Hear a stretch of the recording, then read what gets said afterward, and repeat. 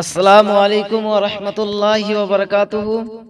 আশা করছি আল্লাহর অশেষ রহমতে আপনারা সকলেই ভালো আছেন। আজকে আমি আপনাদের মধ্যে এমনই একটি পাওয়ারফুল কোরআনি শবে বরাতের আমল শেয়ার করব। কেবল মাত্র তেরো বার বিল্লাহ। এটি পাঠ করবেন। ইনশাআল্লাহ পাঠ করার এই আমলটি করার বরকতে তাআলা আপনার রোজি রোজগারের মধ্যে বৃদ্ধি করে দেবে, আপনার দুঃখ কষ্টগুলো দূর করে দেবে, আপনার বালা মুসিবত দূর করে দেবে, আপনার মুশকিলগুলো আসান করে দেবে, আপনার বাড়িতে খায়র ও বরকত শুরু করে দেবে। তো প্রিয় শ্রোতাবিন্দু এই আমলটি কীভাবে করবেন, কখন করবেন, কি নিয়মে করবেন, সেটি নিয়ে আমি আরও বিস্তারিত আলোচনা করব। তার জন্য ভিডিওটা স্কিপ না করে সম্পূর্ণ ভিডিওটা দেখবেন তাহলে বুঝতে পারবেন। এবং আমি যেভাবে বলব, ঠিক সেইভাবেই যদি আপনি করে নিতে পারেন, ইনশাআল্লাহ আপনি হাতে নাতে আর ফলাফল দেখতে পাবেন। তো প্রিয় শ্রোতাবিন্দু, আপনি যদি চান আপনার দুঃখ কষ্টগুলো মিটিয়ে নিতে আপনি যদি চান আপনার বাড়িতে খায়র বরকত হতে আপনি যদি চান আপনার বালা মুসিবতগুলো দূর হয়ে যাক আপনি যদি চান আপনার রুজি রোজগারে বৃদ্ধি হয়ে যাক আপনি যদি চান আপনার জীবনের গুনাহ মাফ হয়ে যাক আপনি যদি চান আপনার বালা মুসিবতগুলো দূর হয়ে যাক তাহলে অবশ্যই আপনি এই আমলটি করবেন।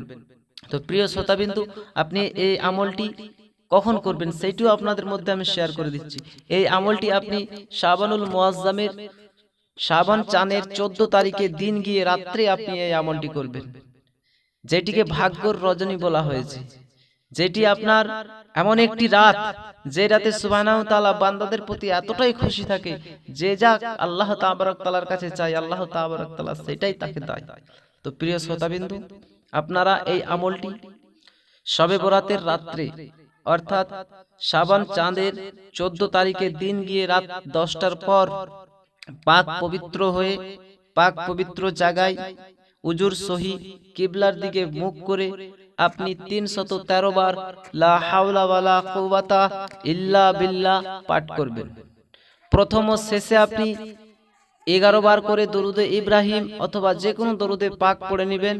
তারপরে আপনি সাজদাই গিয়ে সুবহানাহু তাআলার কাছে আপনার মনের কষ্টগুলো, দুঃখগুলো আপনি জানাবেন।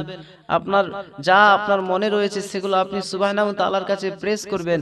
ইনশাআল্লাহ দেখবেন আপনার আল্লাহ তাবারক তালা দুঃখ কষ্টকে দূর করে দিয়েছে, আপনার রুজি রোজগারে বৃদ্ধি করে দিয়েছে, আপনার বাড়িতে খায়র বরকত করে দিয়েছে।